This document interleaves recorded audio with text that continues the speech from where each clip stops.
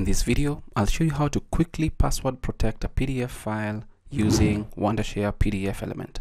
Welcome to this video. My name is David and I hope you're well wherever you are around the world.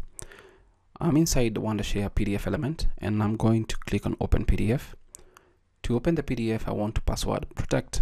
Now, click on that particular PDF and click on open. Once the PDF was open, to protect this particular PDF using a password is pretty easy just go to the protect tab click on that and then click on set password.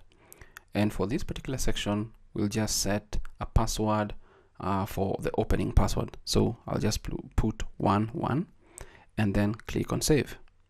Next I'll click on the save button to save my changes. That particular PDF has been saved or has been protected with a password. So let's close this. And once we close that we can just double click on this particular PDF that we just protected with a password. Let's just double click. And final PDF is protected. So open the document by entering the password.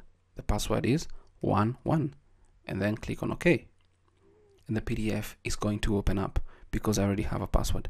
Now if you'd like to remove that particular password then you can go back to set password and then come to this section remove this password uncheck this option and then click on save and then click on save again.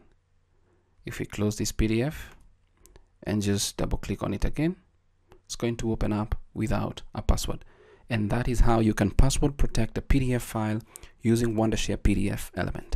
Thanks for watching. Until next time stay safe and never stop learning